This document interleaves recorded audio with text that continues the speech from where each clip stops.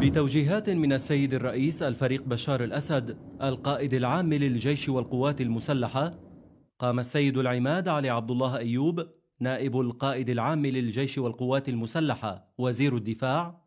يرافقه عدد من ضباط القيادة العامة بجولة تفقدية إلى بعض وحداتنا ونقاطنا العاملة في ريفي حماة الشمالي والشمالي الغربي. التقى خلالها المقاتلين في مواقعهم ونقل إليهم محبة السيد الرئيس الفريق بشار الأسد وتقديره لأعمالهم البطولية التي ينفذونها وتصميمهم على مواصلة أداء الواجب المقدس في حماية الوطن والدفاع عنه. وزود السيد العماد القادة الميدانيين بتوجيهاته لمتابعة المهام المقبلة والعمل بكل ما يمكن ليكون عامنا الحالي عام النصر الناجز على الإرهاب وداعميه.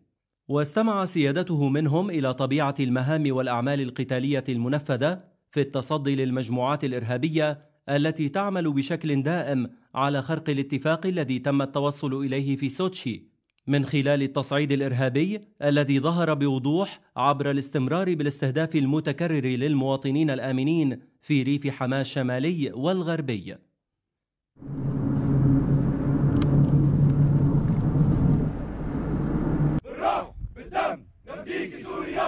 كما أشاد سيادته بالروح المعنوية العالية التي يتمتع بها المقاتلون مؤكدا أن معركتنا مستمرة للقضاء على الإرهاب بعزيمة صلبة وإرادة لا تلين لمتابعة مسيرة البذل والعطاء في سبيل أن يبقى الوطن شامخا أبيا بشموخ رجاله. مشددا على أن النجاحات التي حققتها قواتنا المسلحة على الإرهاب ورعاته لم تكن لولا إيمانها المطلق بالنصر ووفاؤها التام للوطن واستعدادها الدائم لبذل الغالي والنفيس في سبيل عزته وكرامته.